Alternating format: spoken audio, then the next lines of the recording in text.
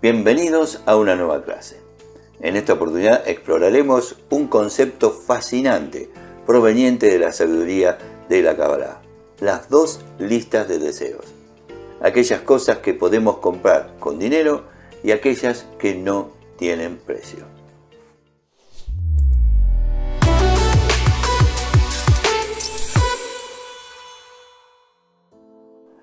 A través de esta enseñanza descubriremos cómo el enfoque en una u otra lista puede influir en nuestras vidas de manera significativa e inesperada.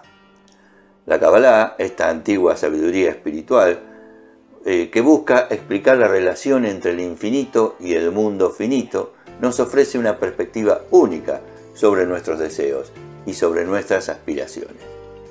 Según esta sabiduría, podemos categorizar nuestros deseos en dos listas principales.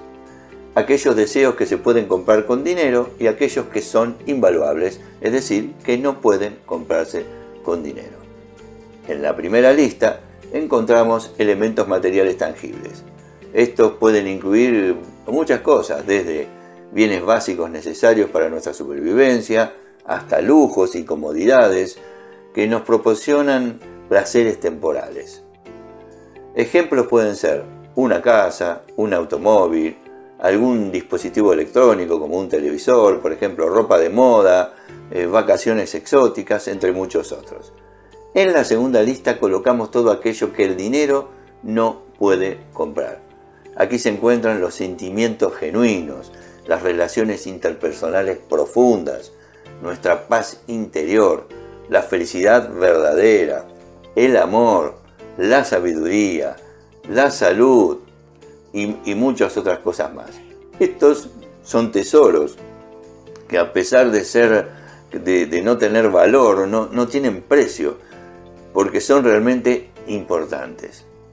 La Kabbalah enseña que cuando nos enfocamos excesivamente en buscar y acumular lo que está en la lista de lo que se puede comprar con dinero, algo de la otra lista se va a perder inevitablemente. Esto se debe a que la obsesión con lo material nos desconecta de nuestras necesidades espirituales y emocionales más profundas. Nos volvemos más susceptibles al estrés, a la ansiedad y a una sensación de vacío, a pesar de la abundancia material que podamos llegar a acumular. Por otro lado, cuando dirigimos nuestra atención y nuestros esfuerzos hacia lo que está en la lista que no se puede comprar con dinero, algo mágico sucede no solo enriquecemos nuestras vidas con experiencias y relaciones significativas, sino que sorprendentemente también podemos encontrar que nuestras necesidades materiales se satisfacen de manera inesperada. Sucede que algo de la lista que no se puede comprar con dinero se añade a nuestra vida como por arte de magia. Al vivir en armonía con nuestros valores más profundos y al priorizar nuestras relaciones y nuestro bienestar emocional, atraemos hacia nosotros oportunidades y recursos que pueden mejorar también nuestra situación material. Por eso es que sucede eso que parece casi mágico. Ahora les propongo un ejercicio práctico para integrar esta enseñanza tan importante en nuestra vida. Primero, reflexión personal. Tomen unos momentos para reflexionar en silencio sobre sus propios deseos. Luego escriban dos listas. En una incluyan lo que desean y pueden comprar con dinero. Vamos a llamarle lista A. Y en la lista B, lo que valoran pero no tiene precio. Segunda fase, la evaluación. Miremos ambas listas y reflexionemos sobre dónde hemos estado enfocando la mayoría de nuestros esfuerzos hasta ahora. ¿Han estado persiguiendo más los deseos materiales o más los deseos espirituales? Tercer paso es la intención. Elijan al menos un elemento de la lista de lo que no se puede comprar con dinero que deseen cultivar o fortalecer en sus vidas. Formulen una intención clara sobre cómo pueden comenzar a hacerlo.